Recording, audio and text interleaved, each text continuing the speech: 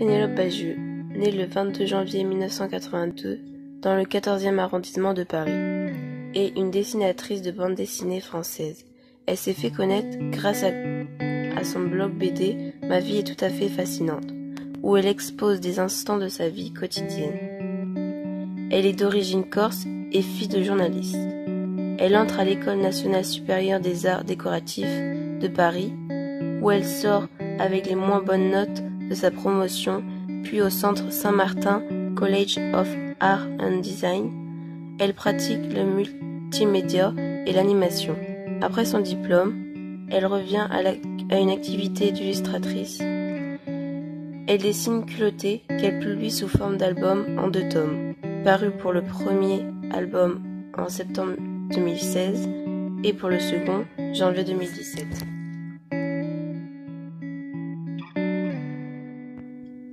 Clémentine Delay, femme à barbe, Nzinga, reine du Ndongo et du Matamba, Margaret Hamilton, actrice terrifiante, Las Mariposas, le sœur rebelle, Josephina Van Gorkum, amoureuse têtue, Lausanne, guerrière et chamane, Annette Gellerman, sirène, Delia Akeley, exploratrice, Josephine Baker, danseuse, résistante, mère de famille.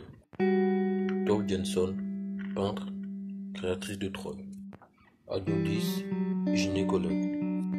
Leima Bowe, travailleuse sociale. Georgina Red, gardienne de phare. Christine Jogersen, célébrité. Ewu Zeitian, impératrice. Nzinga, née vers 1583, est la fille du roi Kiluanji et de la reine Kangela. Ils eurent également trois autres enfants. Le fils aîné nommé Bandi et deux filles, Kifunji et Mukambu. Nzinga naît avec le cordon ombilical autour du cou. À sa naissance, on l'a prédite alors comme étant la future reine. Elle était de loin l'enfant la plus aimée de son père parmi tous. Il l'amenait partout avec lui, à la guerre comme à la chasse. À la mort du père, le frère aîné de Nzinga hérite du trône et se méfie d'Nzinga car elle est plus maligne que lui. Nzinga se propose comme conseillère du royaume. Elle était chargée de négociations avec les Portugais qui occupaient le pays. À cette époque, elle avait tout juste 16 ans.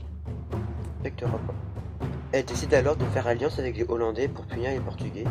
Au moment de la guérilla avec les Portugais, le frère de Nzinga meurt subitement d'un empoisonnement dont elle nia toute implication. Elle monte sur le trône et se fait appeler reine du Dongo.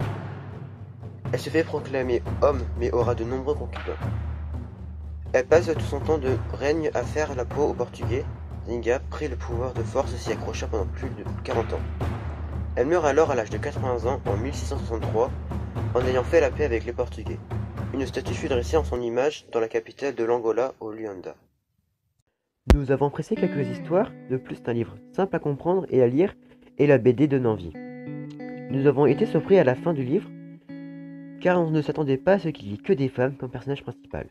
Ces femmes ont révolutionné leur époque et ont laissé des marques, et nous vous conseillons vivement de le lire. Il est simple, rapide à lire, et les illustrations sont bien faites. Aujourd'hui, nous vous avons présenté Zinga, la femme forte. Mais il reste beaucoup d'autres femmes qui pourront vous marquer. Et vous? Quelle femme allez-vous nous présenter demain?